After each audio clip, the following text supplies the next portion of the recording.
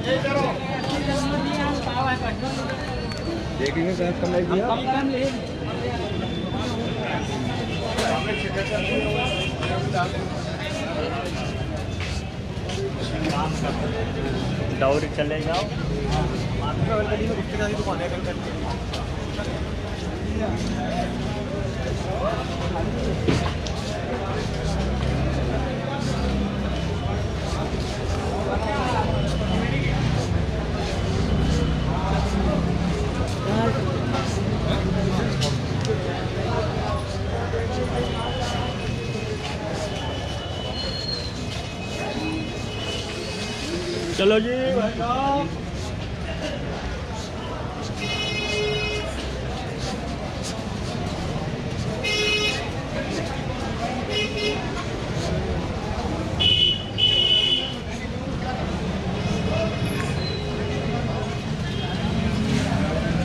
Hãy subscribe